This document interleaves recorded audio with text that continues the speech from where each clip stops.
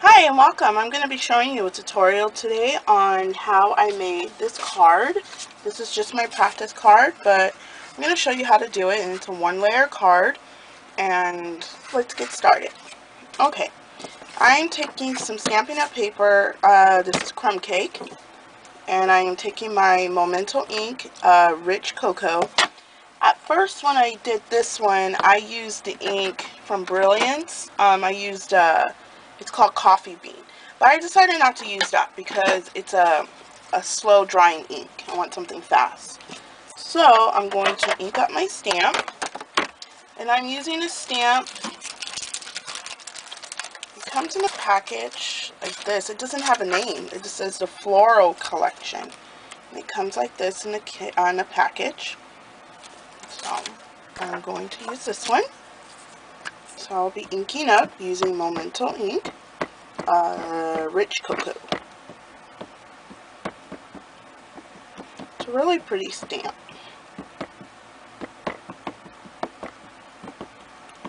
I usually don't do tutorials because I'm not that good at it. I get nervous. And I don't know why, but I do. So, let's position this.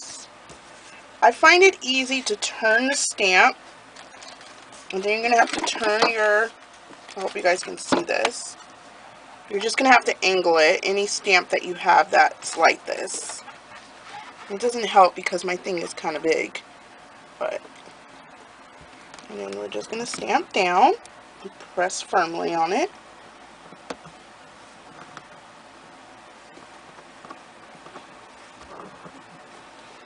Okay. Not that good of an image, but it's okay. And it looks like this. It's not as rich as the other one that I would like it to be. But that's okay. Now the next stamp I am using from uh, My Creative Time, just a little note to say. And the package comes like this. This is what I'm using. And I'm actually using that uh, same, just a little note. And I'm going to use I have two tools.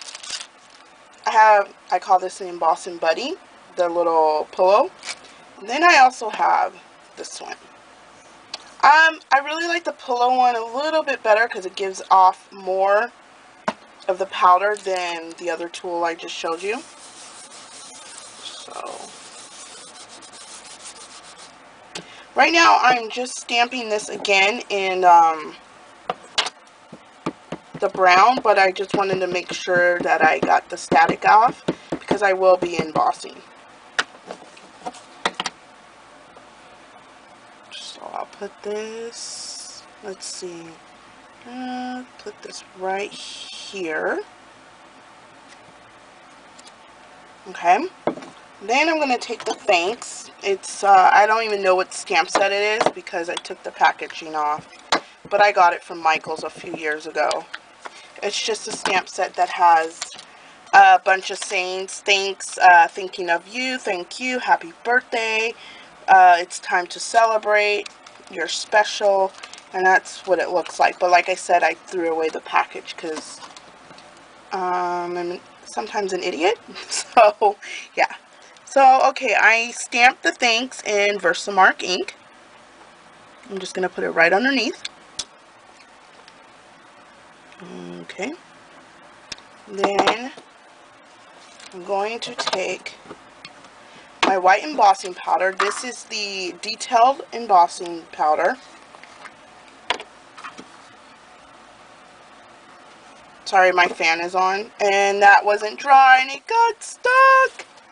Oh no. We can fix this.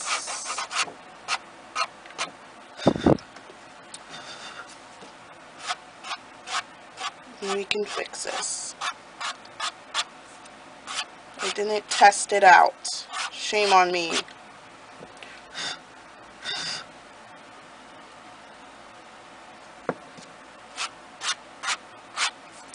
If this ever happens to you, just use your finger and wipe it off.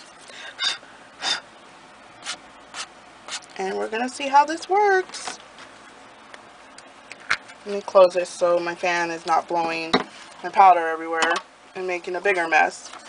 So when I turn on my heat tool, I let it get hot first. And then I apply it to the paper. Because then you're not having it um, scorch the paper or bend the paper.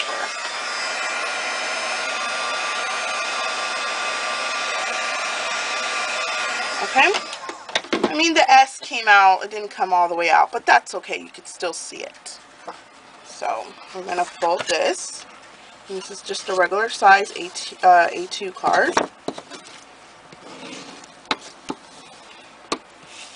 I'm using my bone. And I'm going to use my white gel pen. And I'm going to make little dashes. And this is a quick easy card, less than 10 minute card. That if you need to make a birthday card or thank you or get well, whatever type of card, this would this would work. So like I said, I'm just making little dash lines across the top and the side. And then I'm going to color in. Actually, I'm just going to outline this part of the image. I'm not going to color it in like I did the other one.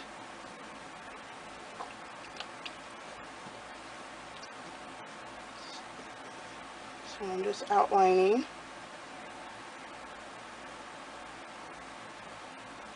Okay.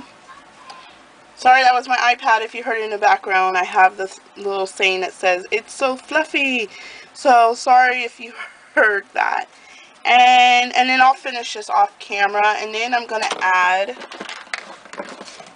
should have been more prepared. Sorry, guys. Oh, where are they? Oh, of course, they don't want to come off. I'm going to add some bling.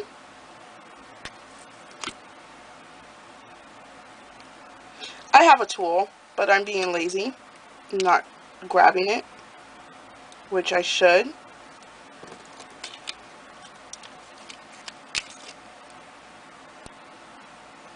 As my bling falls off, I'll get that later. Come on. Okay, that plane doesn't want to stay. It's like, no way, man. And let's do one more. Since it's stuck on my finger.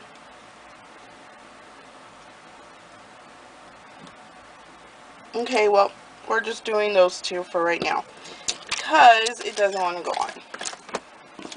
So here's my finished card. It's just a one layer card and I think it's very simple and cute and easy to do. And thanks for watching.